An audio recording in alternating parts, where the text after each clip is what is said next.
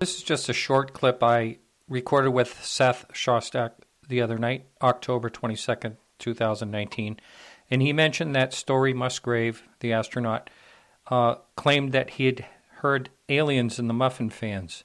So I just wanted to set this straight because um, he said it twice on my show, uh, two different shows. So I thought I'd share this clip right here of me uh, telling this to Story Musgrave himself and his reaction. Here it is.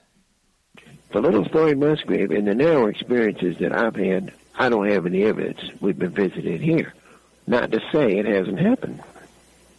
Um, do you mind? I'm going to play a quick clip. Um, I had a UFO debate with uh, Dr. Sh- Seth Shostak from the SETI, and uh, he mentions your name, and I'd like to play this quick clip, and then I'd like to have your opinion after it.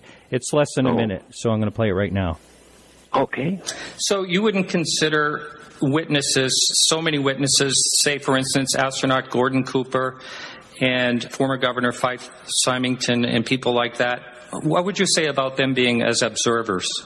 Oh well, I don't think that they're professional observers. I mean, it's it's not that I'm impugning their integrity. I've talked with a lot of the astronauts, Edgar Mitchell and Gene Cernan, and all these guys.